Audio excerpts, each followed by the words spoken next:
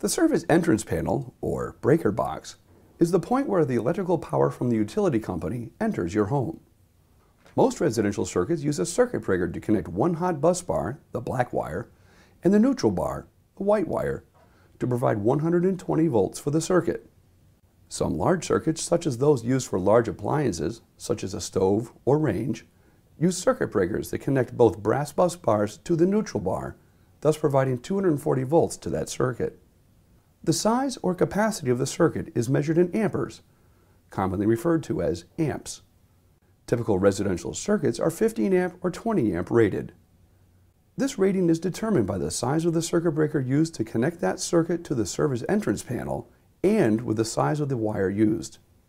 Before attempting any electrical work or repairs, you should be sure to turn the power off at the breaker box. The typical wire now used in residential construction is made up of individual insulated conductors grouped together inside a non-conductive sheath, forming what is referred to as a cable. Standard cable used in residential wiring is typically either a three-wire cable or a two-wire cable. It is important to note that, when referring to the wires in a cable, the ground is not considered a wire or conductor. For example, 12-2 cable consists of two conductors and a ground, while a 12-3 consists of three conductors and a ground. Here is a two-wire cable, where black is hot, white is neutral, and bare copper or green insulated is ground. And here is a three-wire cable. Black is hot, red is also hot, white is neutral, and green or bare copper is ground.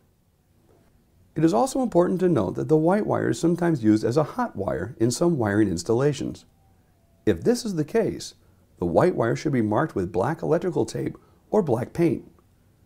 However, the person that installed the wire may not have marked it, so never assume that it is not hot if you are not certain. Electricity travels in a loop, or what is commonly referred to as a circuit. The electricity comes in on the hot wire and returns on the neutral wire. Any break in this circuit will stop the flow of electricity. This is exactly what a switch does when you turn it off. The contacts in the switch open, creating a break in the circuit. This is the typical wiring for a switch or an outlet, with the hot being the black the neutral being the white wire, and the bare copper the ground. The neutral from the panel and the neutral returning from the load are often tied together in the electrical box. This is the typical wiring used for three-way and four-way switches. Black is hot, red is hot, white is neutral, and bare copper is ground.